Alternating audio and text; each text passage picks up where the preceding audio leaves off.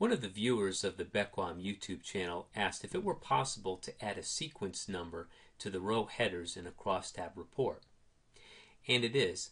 I wrote a small Java class that I integrate into iReport, and as I'm spitting out the value of year for this row header, I add a text field expression that's going to evaluate and increment that counter class that I wrote.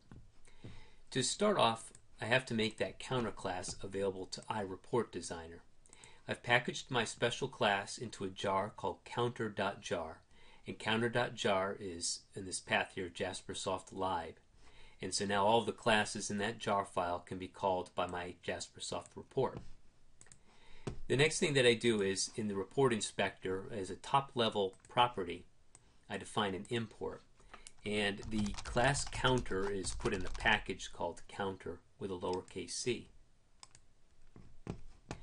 Next, I dig into the subreport itself and I drag a text field onto the row header, make it about a third of the size.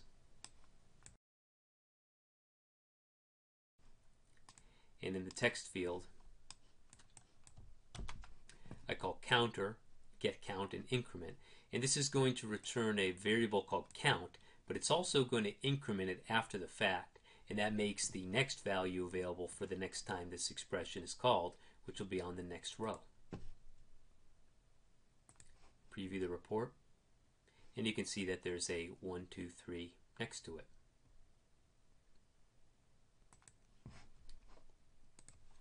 This is the Eclipse Indigo IDE, and you're looking at a class called counter.java.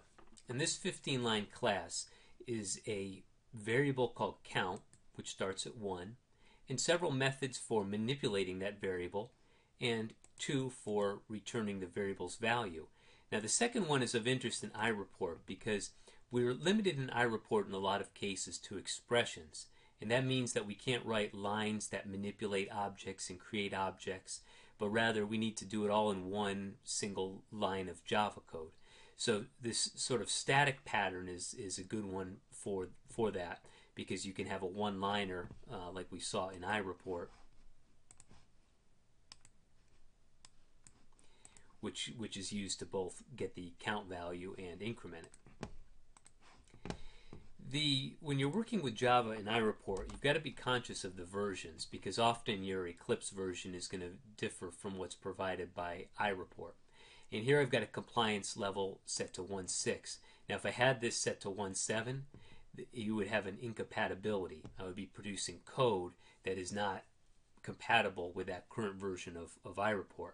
However, if I take this code and just toggle this to 1.6 or even 1.5 or 1.4, uh, then it'll be compatible with older versions of, of iReport. So if you see anything in these examples that hints to a bad version, it's probably because you're compiling a and producing a Java class that's not of the same version. Uh, there is backward compatibility such that if you have the later version, say a 1.6 toolkit, you can certainly read in the 1.3s and 1.4s. So that's Java compatibility. Once you have that set in, setting ironed out, you can create a class like this. Here's a simple 15 line class. And I can export that class as a jar file. And note the jar file destination. So the single class gets compiled and put into this jar file. So looking back on the report here, you see that there is a evaluation made as this text field is rendered. And so as every row is spit out, this value is retrieved and the value is incremented. There's all kinds of ways you can add to this counter. If you had a more complex report, you might want to reset the counter at key points in your report. But for the requirement that was put to me by the viewer, I think this meets what they're looking for.